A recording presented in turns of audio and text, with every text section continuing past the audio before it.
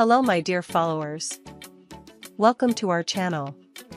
Don't forget to subscribe to our channel, share our video, and turn on notifications to be the first to know about new videos. Dilan was hugging the pillow and thinking about Baran in the last scene. When Baran walks in, he thinks he's been caught. In a panic, he replaces the pillow.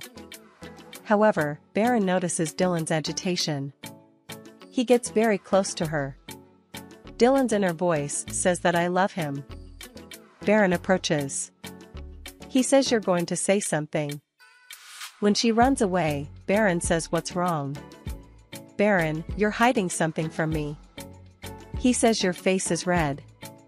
Dilan panics. Destiny says that she was going to help her sister. She runs away. Baran, for his part, will try to understand the reason for the intimacy with the pillow after. Dilan.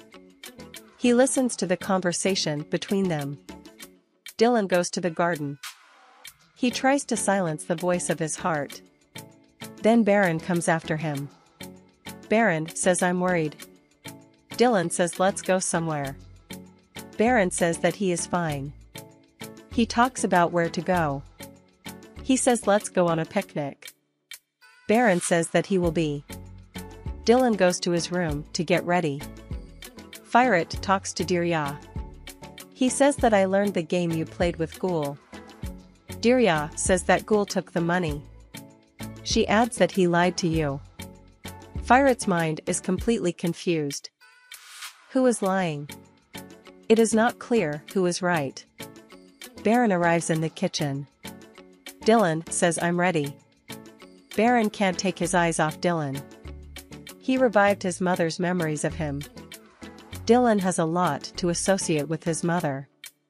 Together, they prepare the picnic basket. Baran's look disturbs Dilan. He says you don't like him? Baran replies that you are very beautiful. Baran is not very successful in preparing the picnic. Dilan asks if you haven't been to a picnic before. Baran says it was a long time ago, I don't remember much. Azaid talks to Kudret in the garden. He goes out of his way to find out what's going on. He finds out from the neighbor what is going on at the summer house. Azaid has learned it all. Sevri takes Yagmur to the park. However, she disappears after the swing. Sevri is quite scared. Baran and Dilan went out on a picnic. Our couple, arriving at a beautiful place, sits in a place by the lake. Together, they set the table. Then they start chatting. They talk about the beauty of spring. Of course, they find traces of themselves in the chat. Out of the basket. Show your love. The rain follows a cat. Sevri, on the other hand, searches everywhere for him in a panic. Yagmur Sevri says where are you, I'm lost. On the other hand, Baran and Dilan enjoy the picnic. Baran looks at Dilan and smiles again.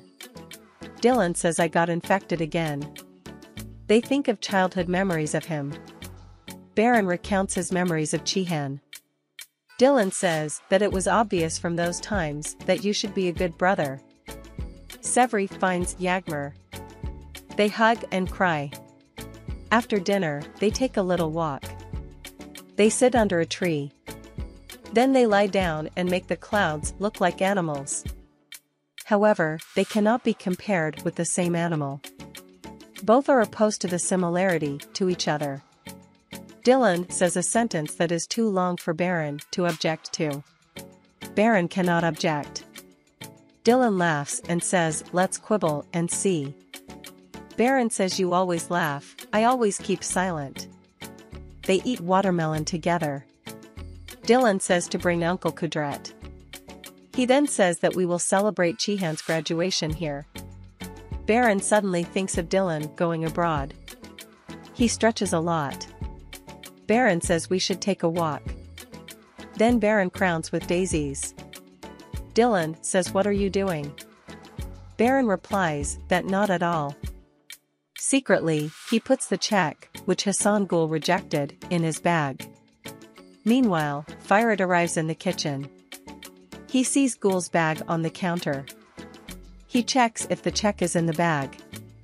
When he finds the check, Diryazwich and Hassan's problem are 1-0 ahead. Baran and Dilan wear the daisy crown in Dilan's hair at the lakeside. Dilan asks me. Baran says I thought he could use him. They look at the eyes. They find a swing. Dilan gets on the swing. Baran swings on the swing. Dilan wants to speed up.